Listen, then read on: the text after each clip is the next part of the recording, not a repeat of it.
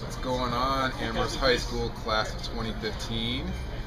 This is Doyin Richards, and you may have known me, you may have seen me on TV. I've been on the Today Show, CNN.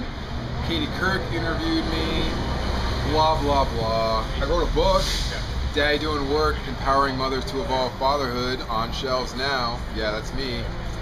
But you know what? None of that stuff's important. It's not about me. It's about you. It's about Amherst Hurricanes. I was the class of 1992. Do you realize 1992? Your parents probably weren't even dating yet. They probably had no idea that they even wanted to have kids. That's how old I am. Scary, right? But I can speak to you in language that absolutely is relatable to what you're going through.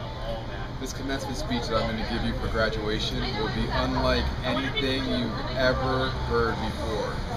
Right now I'm in Los Angeles, Los Angeles, California, at a cafe, drinking some water. But you know what? My home will always be the 413. It will always be Amherst. I love Amherst. I love my high school. I love my teachers and I love the community.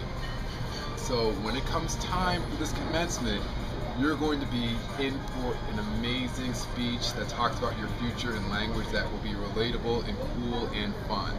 So I will see you in June.